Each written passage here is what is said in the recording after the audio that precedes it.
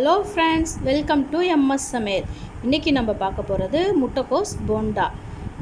இந்த முட்டைக்கோஸ் போண்டா டீ கடையில் கிடைக்கிற மாதிரியே பண்ணுவோம். இதை பார்க்குறதுக்கு முன்னாடி இப்போ தான் நம்ம சேனலை புதுசாக பார்க்குறீங்களா உடனே சப்ஸ்கிரைப் பண்ணி பெல் ஐக்கானை கிளிக் பண்ணி ஆளுங்கிற ஆப்ஷனை கொடுங்க.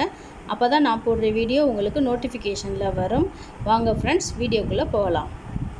இப்போ முட்டைக்கோஸ் வச்சு ஒரு போண்டா எப்படி செய்கிறதுன்னு பார்ப்போம். அதுக்கு நான் ஒரு கப்பு கடல மாவு எடுத்திருக்கேன்.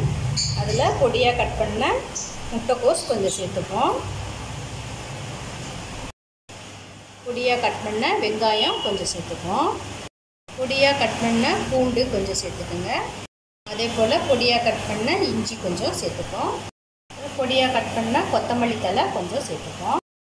கால் ஸ்பூன் மிளகாய்த்தூள் கால் ஸ்பூன் சோம்பு இந்த போண்டா மாவுக்கு தேவையான அளவு உப்பு. இப்போ இதுலேயே ரெண்டு ஸ்பூன் நல்லா ஹீட் பண்ண சன்ஃப்ளவர் ஆயில் இது அப்படி சேர்த்துப்போம் இப்போ இதை அப்படியே நல்லா பிணைஞ்சி விட்டுப்போம் பிணைஞ்சிட்டு அந்த வெங்காயத்தில் இருக்கிற தண்ணியிலே கொஞ்சம் நல்லா பிணைஞ்சிக்குங்க. பத்தலைன்னா லேசாக தண்ணி தெளித்து கெட்டியாக பிணைஞ்சிக்குங்க.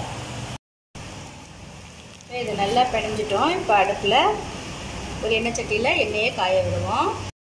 இப்போ எண்ணெய் வந்து நல்லா காஞ்சிருச்சு. இப்போ நம்ம சின்ன சின்ன பாலாக உருட்டி இதில் போட்டுருவோம். இதுமாரி நல்லா சின்ன சின்னதாக உருட்டி போட்டுக்கோங்க. இப்போ இது நல்லா ஒரு பக்கம் வெந்துருச்சு. இதில் அப்படியே திருப்பி விடுவோம். இப்போ நல்லா வெந்துருச்சு. இப்போ இந்த போண்டாவை எடுத்துருவோம் அப்படியே.